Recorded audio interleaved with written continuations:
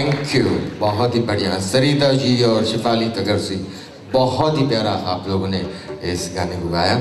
इसके बाद आगे बढ़ते हैं। नासिर हुसैन साहब और पंचम दा कॉम्बिनेशन इतना सुपरहिट हो गया था कि पहली फ़िल्म करने के बाद में ही नासिर हुसैन साहब ने लगातार पाँच फ़िल्में पंचम दा को दी थी और ये सिलसिला आगे बढ़ता रहा।